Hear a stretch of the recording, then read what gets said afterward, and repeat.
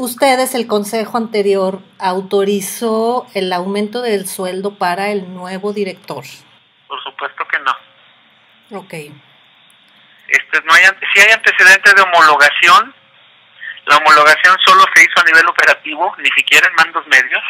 La dación de sueldos efectivamente se hizo de teatro de barrenderos, técnicos del teatro y tal.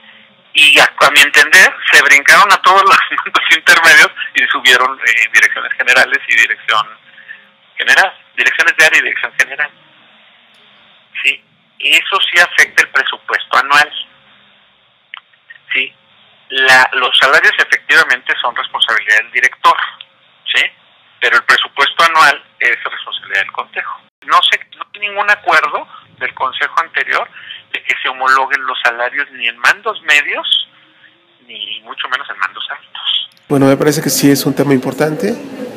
Este, no lo he platicado yo con, con Carlos, es un tema que yo me enteré por los medios, pero seguramente eh, en el momento en que lo planteemos, seguramente habrá una respuesta.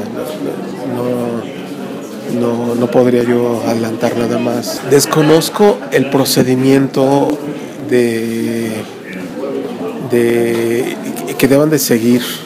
Es decir, yo creo que hay temas del Consejo que deben de plantearse, pero yo creo que no todos los temas.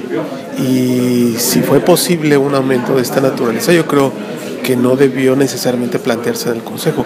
Habría que revisar cuál es la normativa para que, para que esto sea posible o no, porque si sucedió de esta manera, yo creo que sí están apegados a la norma. ¿Quién fue este, quien aprobó estos aumentos? Bueno, esto todo viene desde el, municipio, ¿no? O sea, este, nosotros como consejo no, no, no tenemos, eh, no, no tuvimos esa injerencia, pero, este, pero así, así fue.